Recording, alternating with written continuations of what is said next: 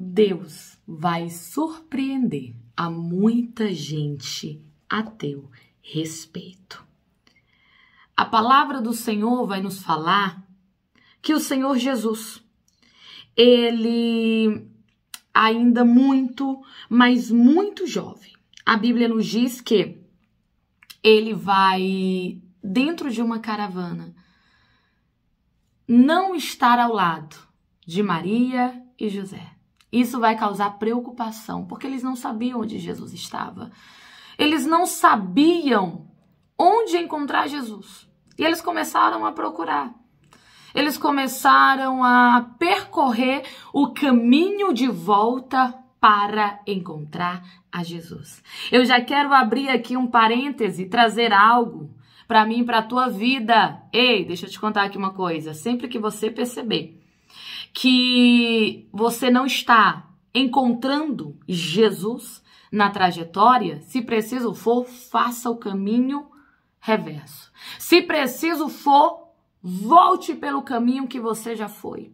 Ei, mas esteja com teu coração aberto a encontrá-lo. Esteja com teu coração disponível a encontrá-lo. E quantas vezes na nossa vida a gente vai ter que voltar pelo caminho? Hum? Quantas vezes a gente vai ter que olhar, sabe, desacelerar em algumas coisas, se dedicar a outras, percorrer um caminho, sabe, de volta, mas para quê? Para que nós venhamos a encontrar aquilo que nós perdemos. Quando você perde algo, o que é que você faz dentro da tua casa? Ei, você sai percorrendo o caminho que você já percorreu.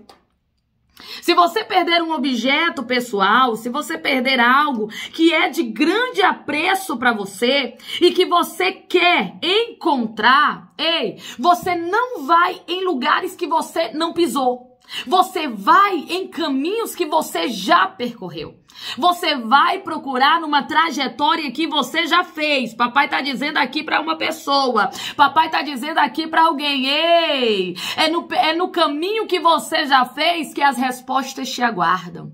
Por vezes aquilo que você sabe não está encontrando no teu agora, está numa trajetória já percorrida. E nós precisamos ter essa sensibilidade para entender quando é tempo, sabe, de voltar pelo caminho que a gente já percorreu percorreu, só que agora com mais atenção, até porque você passa por uma trajetória, não é? E quando você percebe que perdeu algo que para você é importante, você não vai para um lugar que você não pisou, você vai para um lugar onde você já esteve lá. Só que dessa vez você vai diferente.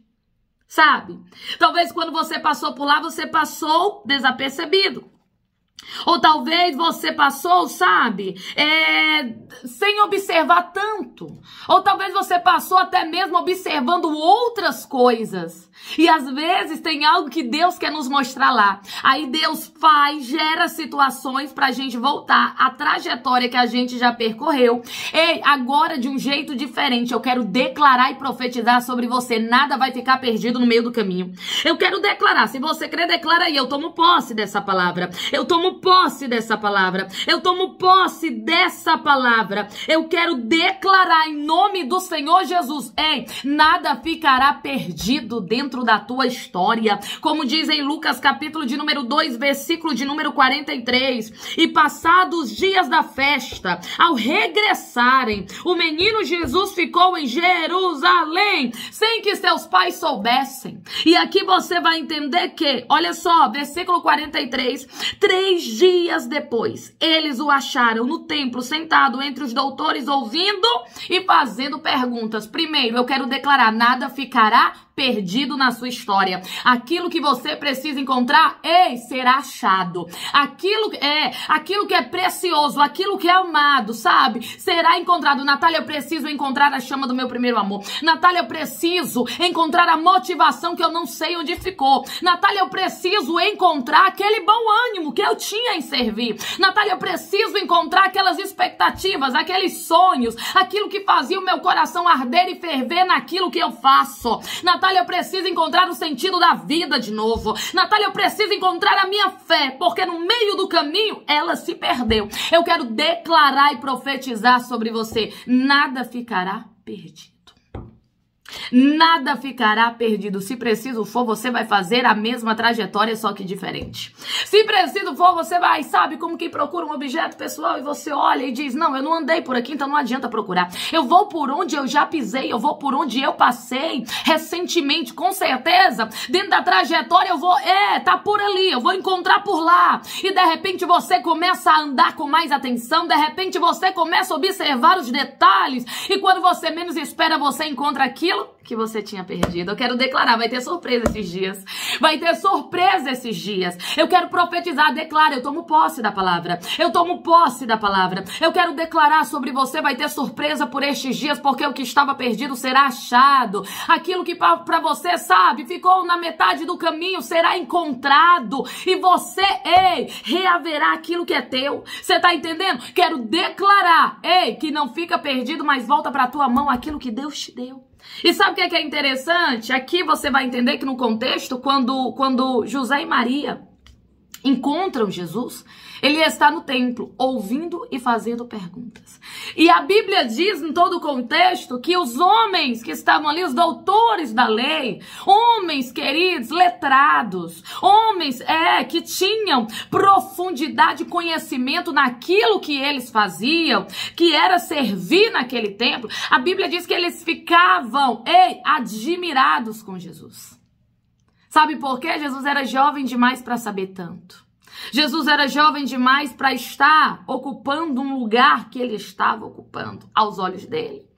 Mas era exatamente ali que Jesus deveria estar naquele momento. Deixa eu declarar aqui sobre você. Alguém vai se surpreender, vai dizer: Nossa, você é jovem demais para isso, ou Nossa, você é novo demais, sabe? Novo demais na questão de ter começado agora nessa área, nesse ramo, nessa profissão. Nossa, mas você, você tem quanto tempo de fé? Nossa, mas você tem quanto tempo de profissão? Nossa, mas você tá entendendo? É, alguém vai olhar para você e vai ficar admirado, porque vai olhar e vai dizer assim: para ter o resultado que você tem aí, para saber do que você sabe, para ter as técnicas que você tem, para ter a fórmula que você carrega. Ei, isso daí exige anos, décadas de muito aprendizado e ensinamento. Só que, ei, a Bíblia vai dizer que lá estava Jesus aos 12 anos dando aula para doutores.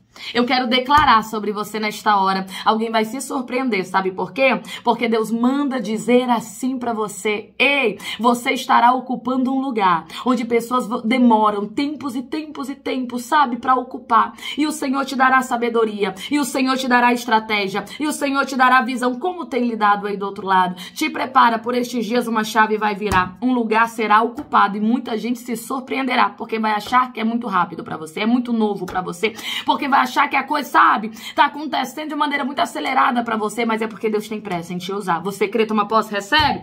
Então toma posse aí do outro lado e confirma nos comentários com o teu amém. Amém, queridos. Glórias a Deus. Deixa eu orar juntamente com você. Coloca teu pedido, tua petição, teu pedido de oração. Quero apresentar a tua vida a Deus aqui nesta hora. Amém. Oremos em nome de Jesus. Antes da gente orar, deixa a curtida, compartilha a mensagem com alguém que alguém precisa ouvir a palavra de Deus. Deixa Deus te usar aí do outro lado. Oremos. Senhor, meu Deus, meu Pai, estamos aqui na tua presença para te adorar, exaltar, bem dizer o teu santo nome. Deus, obrigada. Obrigada pelo teu mover. Obrigada, Senhor, pela palavra de bom ânimo. Obrigada, Senhor, por direcionar a nossa vida. Obrigada por nos trazer promessas. Obrigada por nos apontar direcionamento. Só o Senhor para fazer isso na nossa vida. Obrigada pela tua porção da palavra. Ah, Jesus, obrigada por cuidar de nós.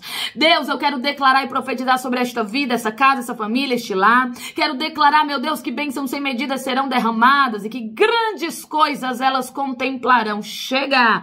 Porque o Senhor é aquele que faz a gente percorrer, por vezes, um caminho já percorrido, só que de uma maneira diferente. E quando nós nos assentamos no lugar que o Senhor reservou para nós, ei, vai surpreender a muita gente neste lugar. Declare, profetizo, vitória e milagre sobre você. Você crê uma posse, recebe, confirma aí nos comentários com o teu amém. Amém, queridos, glórias a Deus. Que Papai do Céu te abençoe muito. Marca três pessoas para ouvir essa mensagem de Deus com você aqui hoje. Beijo grande, fica na paz do Senhor Jesus. Amém.